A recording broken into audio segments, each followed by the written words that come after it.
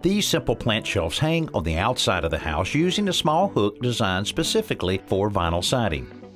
The shelf itself is simply a piece of 1x6 with a radius cut on the front corners. On the back of each shelf, we nail two sawtooth picture hangers to hold the shelf in a horizontal position. We create a small trapezoid corbel from 2x4 material by making a 45 degree diagonal cut, then a 90 degree cut, 1 inch from the diagonal. The corbel is attached to the shelf with its longest edge facing the wall and slightly offset to the back. The offset accommodates the angle of the siding.